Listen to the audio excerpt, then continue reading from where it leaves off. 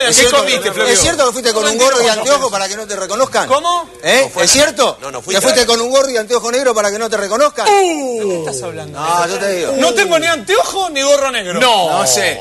No sé. Fuiste tenés anteojo y gorro negro. como el Mossad. Fuiste a la cancha. Dale, no me hagas reír. Caminé, por la plaza del cine con un gorro- en el gorro piano. negro para que no lo Carlito, no, reconocieran. no, mirá que Carlito sabe. Carlito. Carlito, si nunca fuiste a Avellaneda vos. Pobre de vos, sabés las veces que cubrí yo, independiente, ¿Qué? Racing, ¿Pero qué? 30 años tengo ¿Pero de qué? periodista. Son las charlas Yo que ya lo cubrí, ya lo cubrí, Sí, basta. son las charlas Ah, que ahora estás más Asado. arriba. No, no, no, Ah, dijiste ya lo cubrí, basta. No, no, no, Basta, No, no entro en esa discusión, porque yo soy periodista hace 30 años. Yo si tengo que ir a la cancha. Y vos estás diciendo que yo fui encapuchado de Avellaneda, eso, es el periodismo. ¿De qué Sí, eso es. ¿Podemos, volver a lo de que no Ramón Díaz, a esta pavada, a esta pavada. Es de una pavada, Pablo.